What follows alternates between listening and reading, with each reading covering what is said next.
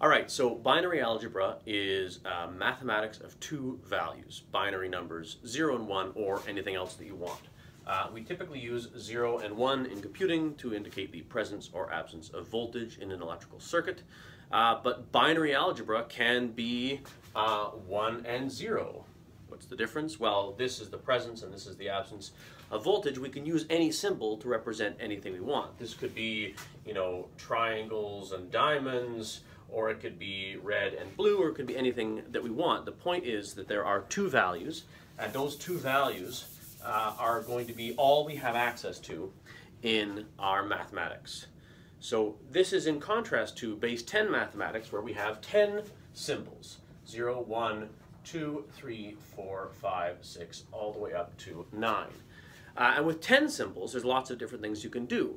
Uh, what we usually do in a base 10 uh, kind of mathematics is we have different places, and each of these places corresponds to some power of 10. So this would be, if we have 386, uh, this is 3 times 10 to the 2, or 3 times 100, or 300, plus 8 times 10 to the 1, or 8 times 10, or 80, plus 6 times 10 to the 0. And this is how we represent place value. In binary, we can't do that because we only have two uh, values, 0 and 1. And if we start counting, uh, we will have a 0 in the first place value, and then a 1 in the first place value, and then we run out of possibilities for the first place value. So the second place value has to give us some number of uh, 2. So this looks like 10, but it's 2. And then this is 3, and this is 4, and this is 5, and on like that. So what we find is that the first place value isn't a power of 10 anymore, it's a power of 2. So the first place value is going to give us 2, uh, something to the power of, uh, 2 to the power of something. And it's going to be 2 to the power of 0, and then 2 to the power of 1, 2 to the power of 2, and on like this. These are going to be our place values for binary numbers. So this is, as an example, 1 times 2 to the power of 2 plus 0 times 2 to the power of 1 plus 1 times 2 to the power of 0. 2 to the power of 0. And 2 to the power of 2 is 4. 2 to the power of 2 is 2, but there isn't any of it because we're multiplying by 0. And 2 to the power of 0 is 1, so it's 4 plus 1 is 5.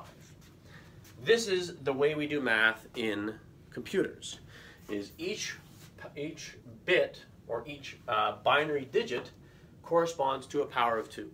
Now, it doesn't have to be that way. They can correspond to anything they want to, but when we first enumerate them, uh, they're going to be powers of 2 because that gives us the most simple direct relationship between a binary string and a number that we're interested in. Uh, as we'll see later, there are lots of other ways to take a binary string and interpret it as a value of some kind, whether we interpret that as a value for um, a number that is negative, or a number that is a decimal place, or a number that is um, represents a color or a smell or anything else, right? These binary numbers can represent anything that they want to. So in base 2, well, in any base, if we expand this idea, because now we've got base 10, 10 to the power of something, and we've also got base 2, 2 to the power of something, we can have any base. We can have base 7 numbers, or base 13 numbers, or base a million numbers. It doesn't matter. Each uh, base that you're talking about needs that many symbols to represent it. Base 10 numbers needs 10 symbols to represent. Base 2 numbers needs 2 symbols to represent. So if we had a base 16 number, 16 to the power of k, which we'll get to later, but it's a good example to use for now because we do use base 16 in computing from time to time. We call it hexadecimal.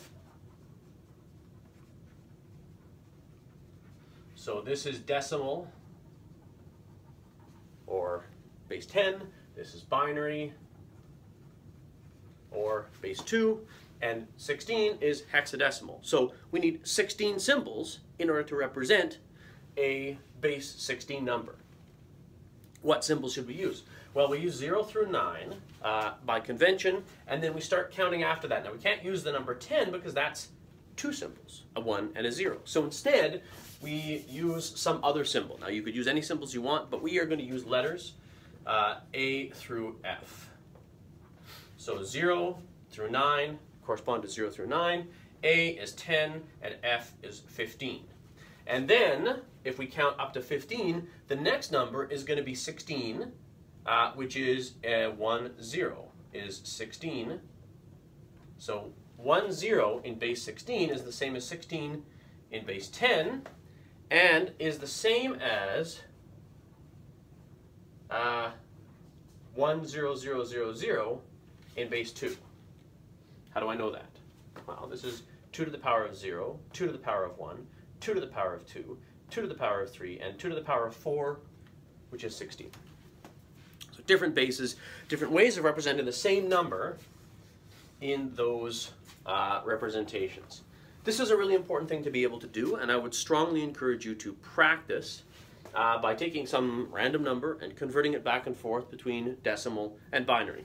Base uh, 16 hexadecimal will do in more detail later on. Uh, there are good reasons for using it, but for now, uh, don't worry too much about it. Uh, we'll just get started with decimal and binary. So I will give you some numbers, and you will convert them from base 10 to base 2, or from base 2 into base 10 to know for sure that you can do these things. So um, let's see. Uh, let's see. We'll do uh, 26 in base 10 is equal to what in base 2. Uh, we'll do um, 12 in base 10 is equal to what in base 2. And then we'll do uh, 11010 in base 2 is equal to what in base 10. And uh, 0011010101 base 2 is equal to what in base 10. Try these exercises, and in the next video, we'll give you the answers.